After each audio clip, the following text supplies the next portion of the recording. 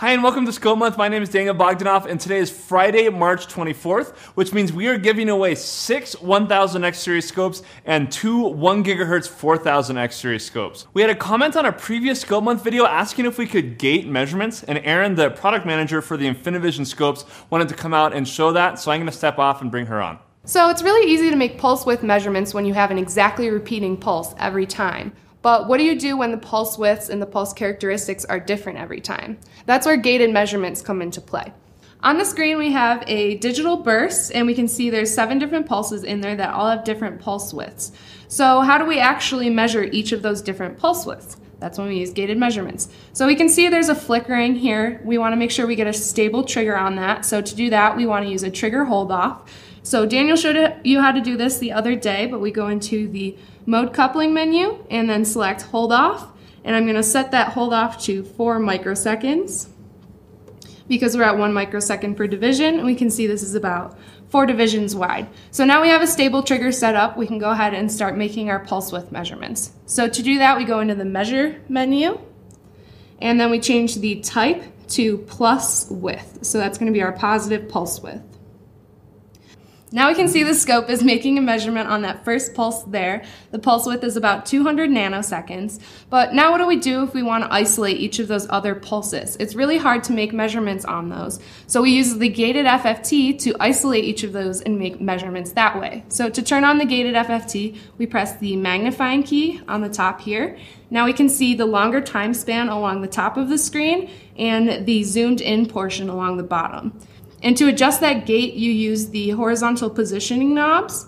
So we can make it a little smaller and center it using the horizontal offset. So now we can see it's making the pulse width measurement on that isolated first pulse. We already know that's 200 nanoseconds. So now to look at the second pulse, we use that horizontal offset to move this gated window over to the second pulse. Now we have the second pulse isolated on the bottom of the screen and we're making a pulse width just on that pulse. So now we can see that pulse is 400 nanoseconds. Then we can do the same thing with the third pulse. We see that's a little bit smaller, it's about 100 nanoseconds, and you can continue doing the same thing with each pulse after that. And by the way, you can also change how the measurements are gated by using the cursors. So to do that, you go into the measurement menu and you select settings then we can go into the measurement window uh, soft key and we can see gated by cursors as an option. So you can actually manually move the cursors around the screen and tell it where you want to be making measurements. So making gated measurements is really useful when you want to isolate different portions of your waveform and make measurements on it that way. And you can gate measurements on any of the InfiniiVision X series scopes. You can also gate FFT measurements. So if you want to see that, let us know in the comments and we'll bring Aaron out next week to show that off. Let's go ahead and draw today's winners. The first two names I say will be for a 4000X series scope, and the other six will be for a 1000X series scope. So the 4000X series winners are Igor Czerniowski and Joylyn Shaba, and our 1000X series winners are Noah Ailo, Henry Ott, June O, Francois Berrion, William Craig, and Robert Ronyech. So congratulations to our winners. We'll be in touch with you within three business days. I also mentioned we'd be showing some clips from the Test to Impress contest, so we're going to start adding a clip into each day's Scope Month video. Here's the first one.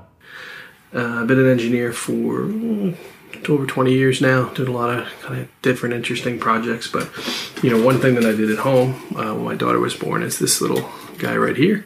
Uh, this is a uh, electronic stethoscope, and this is a custom piezo mic element thing that we did, that I did and uh, it's got a little DSP and microcontrollers and things like that. It basically records uh, the parent's heartbeat, uh, strips out all the noise and everything, and then white noise mixes it and plays it back out for a little one to go to sleep. So, uh, so when I finished this, uh, I thought it wouldn't really take too much to make a small version of this that was wireless and battery powered, and connected to a phone that people could use anywhere to maybe record heartbeats, like maybe in remote areas or remote countries where people didn't have access to stuff. And I, um, I thought it would be cool to make like an open source uh, electronic stethoscope.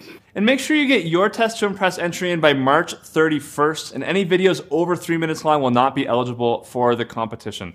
That's all for today. Thanks for watching. Make sure you subscribe to the Keysight Oscilloscopes YouTube channel and tune in Monday for some live Scope Month Q&A. I'll see you then.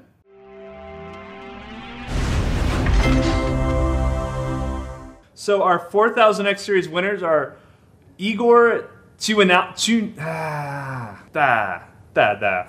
I'm gonna sneeze. With all that powder on my face. Noah, eh, ugh, Noah A I Aio. Whew. Noah I I Airo. Ah, ego, ego. Wow. Man, I need to take some Polish lessons before next scope month. That was rough.